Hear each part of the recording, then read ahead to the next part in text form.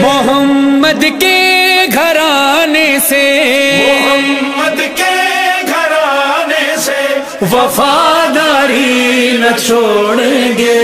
आजादारी न छोड़ेंगे। आजादारी न छोड़ेंगे।